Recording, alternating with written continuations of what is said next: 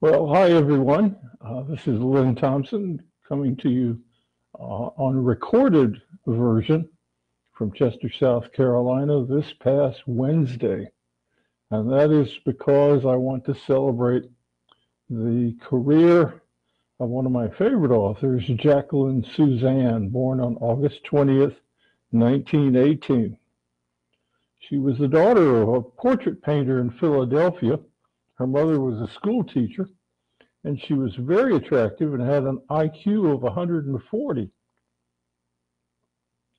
She decided to be an actress despite the advice of a teacher who said Jackie should be a writer. She breaks all the rules, but it works. And when she did make that change, Jackie Susann changed the world of publishing forever. Joan and Jackie Collins and many others owe her their careers. You see, before then, publishing was a fairly highbrow operation. Uh, publishers were almost entirely in New York or Boston. They were made a good living and most bookstores were in big department stores in big cities. So, as I mentioned last week, after about 1922, literature split, or the notion of literature between high art literature and modern things like T.S. Eliot's The Waste Land or James Joyce's Ulysses, which came out that same year. And so by the early 1960s, Publishing was ready for another change.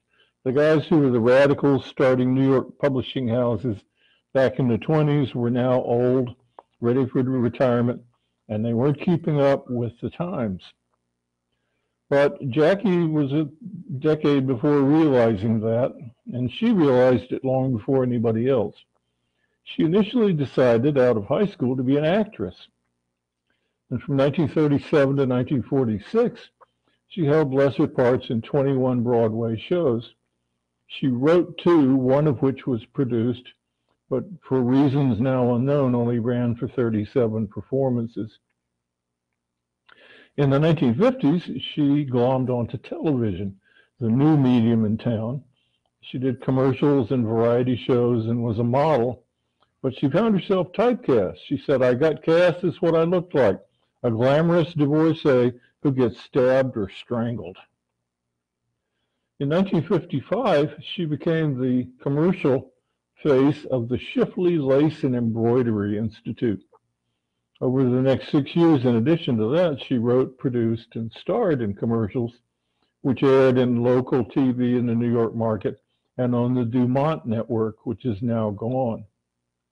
Sometimes she was joined on the air by her poodle, Jacqueline, she energetically pr promoted whatever product she was hired to shill and made personal appearances on their behalf. But the chickens came home to roost in the early 1960s as one night she was leaving a New York restaurant and heard someone shout, There's the Schiffli girl! Susann, realizing that 25 years of backbreaking work and Broadway shows, eight performances a week, had culminated only in recognition of her as the girl who did lace commercials.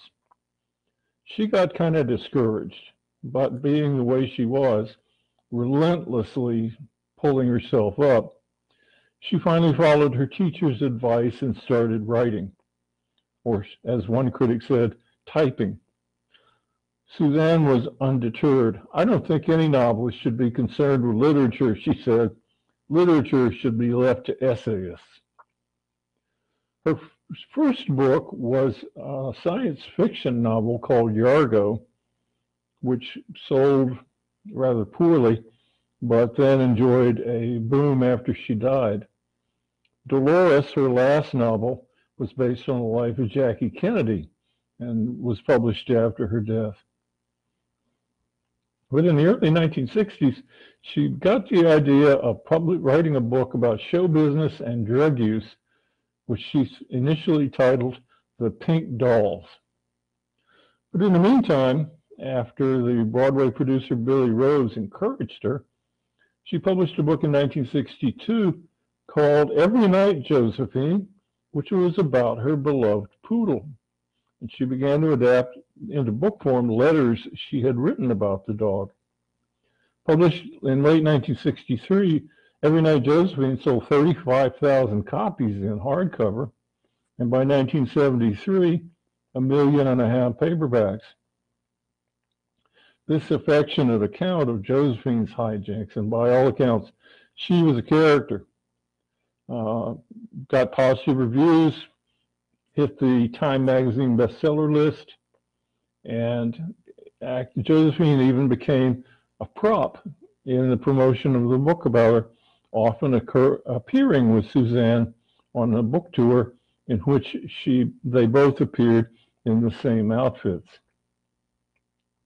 Even after publishing her other novels, Susann cited Josephine as her favorite of her own books.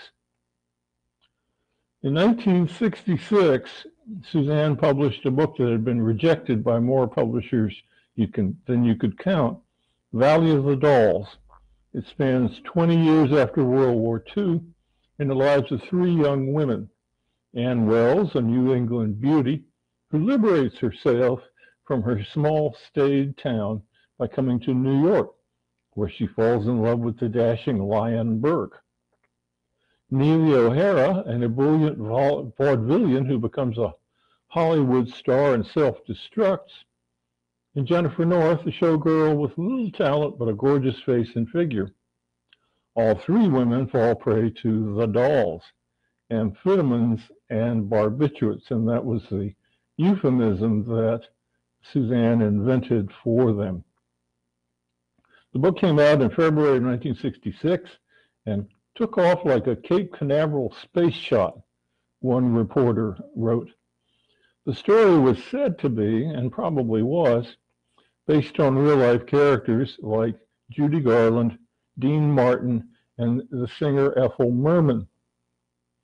Although Publishers Weekly, in an advance review, called the book powerful and sometimes fascinating, it, like all her work, got largely negative reviews. Gloria Steinem, the feminist, panned the book, as did the reviewer in the New York Times. Time magazine called it the dirty book of the month and said it might be more accurately described as a highly effective sedative. Despite the poor reviews, the book was a commercial juggernaut.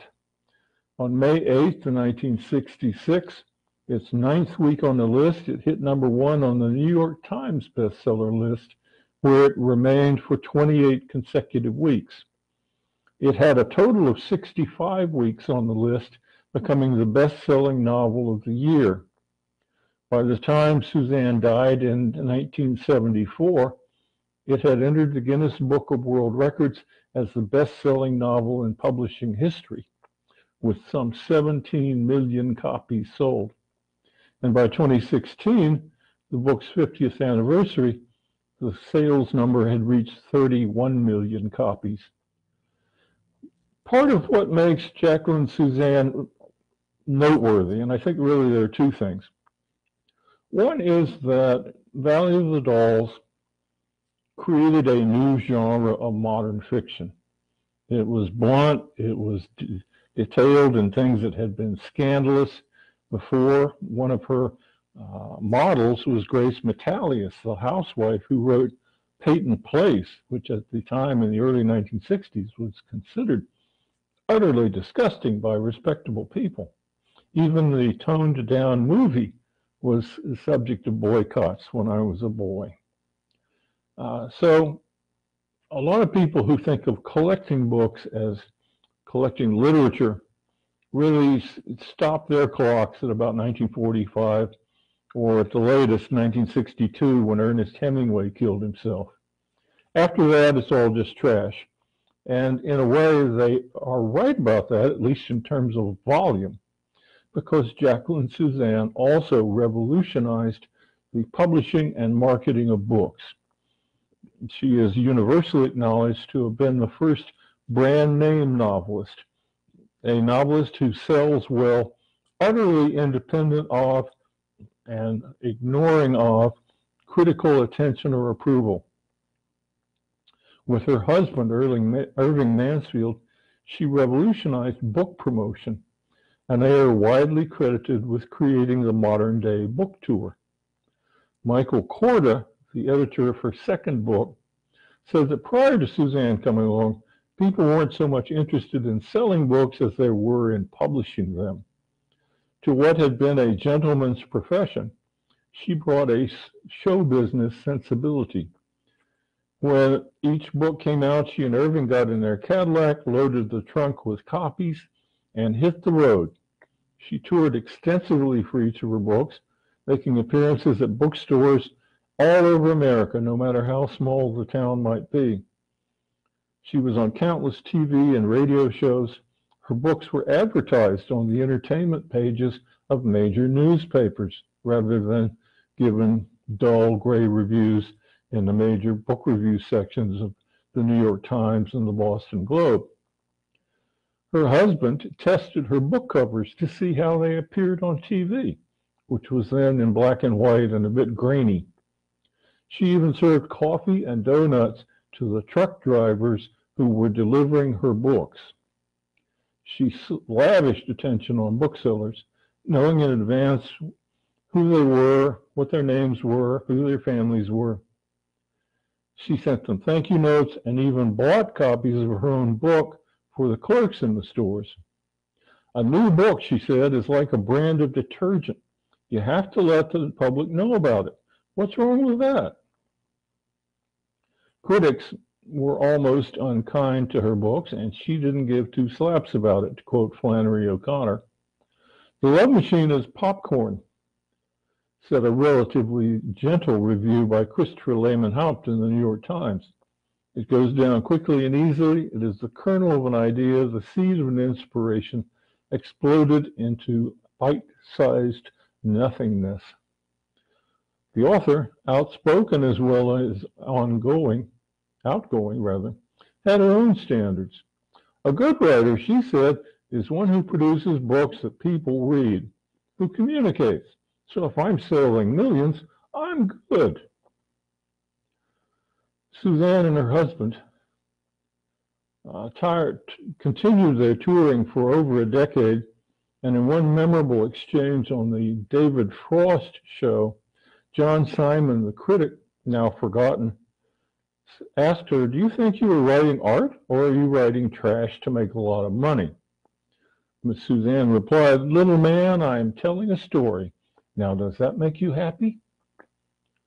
In her lifetime, Jacqueline Susann's books earned $8 million for her in royalties, and more than a million remained after taxes and expenses. 60% were invested in tax-free bonds and the rest in stocks, all through two corporations she and Irving set up. In 1962, at the age of 44, Jacqueline Susann was just getting underway with her writing career and diagnosed with breast cancer. During her recuperation, she made a pact with God. If she were given 10 more years of life, she would prove herself to be the best-selling writer in the world. In the end, she was given 12, and she arguably succeeded. At her death, Valley of the Dolls was the best-selling novel in the world. It has never gone out of print. None of her other books have ever gone out of print over 50 years later. Nowadays, if you look around, you can find signed copies in good condition selling for 1,000 to $1,200. A more commonplace conditional uh, first editions you can get for as low as 10. She was a remarkable woman, and she demonstrates a point I like to make with uh, viewers about publishing, uh, collecting rather. Collect what you like. If other people say it's trashy, it may well prove to be. But a lot of the great names in book collecting have been people who went where the public's attention was not. They collected books that were out of favor. They picked up first editions on the cheap. And who knows? Uh, Jacqueline Susann may, in another 50 years, be wildly popular. In the meantime, you've got a collection of nice books that you like. Let, let Jacqueline Susann have the last word. From The Love Machine, A young man was asked, What about television? It's an octopus. It's no longer just a little box. It's the love machine.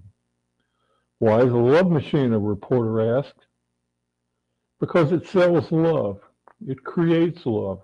Presidents are chosen by their appeal in that little box.